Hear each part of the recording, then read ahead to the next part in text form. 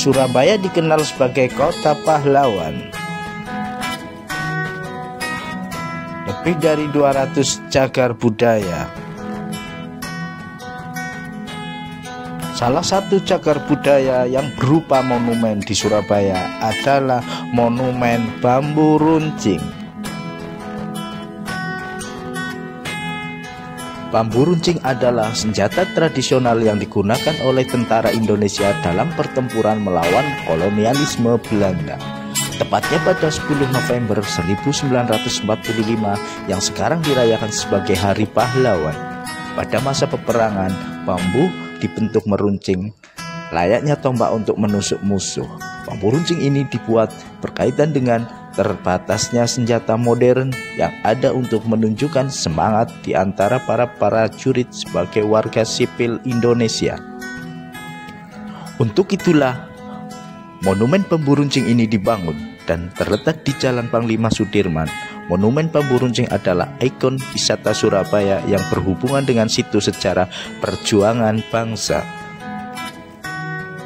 Monumen ini terdiri dari lima pilar dan memiliki tinggi yang tidak sama dan dibentuk seperti bambu runcing.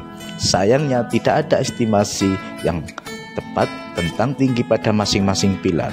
Pada waktu tertentu akan ada air yang mengalir keluar dari bambu runcing layaknya air mancur. Selain itu, monumen ini dikelilingi taman kecil yang penuh dengan beragam tanaman hias.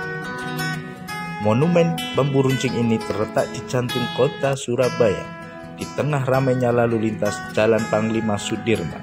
Para pengunjung yang datang ke Surabaya akan langsung mengenali keberadaan monumen ini saat melintasnya. Monumen ini dekat dengan kebun binatang Surabaya, Tunjungan Plaza, Surabaya Plaza, dan Tugu Pahlawan.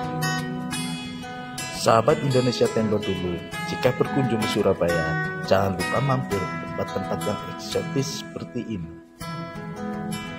Sekalian ke cagar budaya yang ada di Surabaya untuk menambah wawasan ilmu. Sebagai sarana pembelajaran bagi anak-anak kita. Secara bangsa adalah kekayaan intelektual yang tak tergantikan Jangan lupa subscribe, like, comment, and share ke sahabat Indonesia Tempo dulu.